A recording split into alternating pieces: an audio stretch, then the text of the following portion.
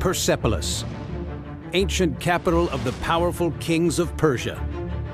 This site is one of the most important archaeological sites on this planet. A mysterious metropolis at the heart of the greatest empire the ancient world has ever seen. What is this city, and what can it reveal about the world's first great empire? It really reveals a revolution in how to run an empire.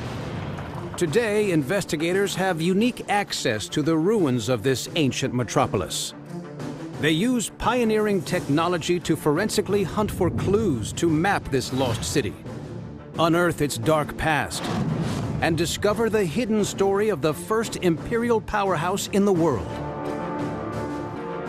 To unlock the secrets of ancient Persia, we resurrect the empire's mighty capital, the lost city of Persepolis.